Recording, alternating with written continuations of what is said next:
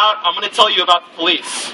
What happened last Sunday morning was a misappropriation of taxpayer dollars and resources. While this, while this city wastes money arresting innocent citizens, school closures are put back on the table, and we are underfunding social services like Planned Parenthood and Head Start. The police as an institution will always be opposed to our goals because their purpose is to maintain the status quo. They don't solve the actual sources of crime, such as poverty, mental health, domestic violence, racism, sexism, etc. The role of the police in this capitalist system is to maintain the inequalities of class and wealth and justice. Yeah.